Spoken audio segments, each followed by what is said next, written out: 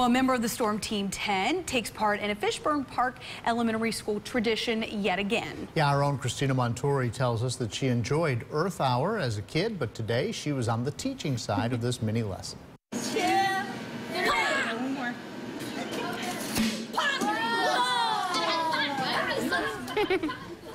All right, that looks like fun. Kristina taught students the science behind weather and how to stay safe when it turns severe with fun hands-on activity. She also held a balloon to one student's hair to demonstrate static electricity.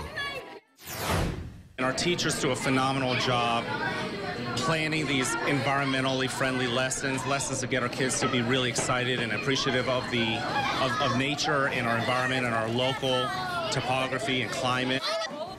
Now, Kristina also helped kids make their own tornado jars so they could take them home.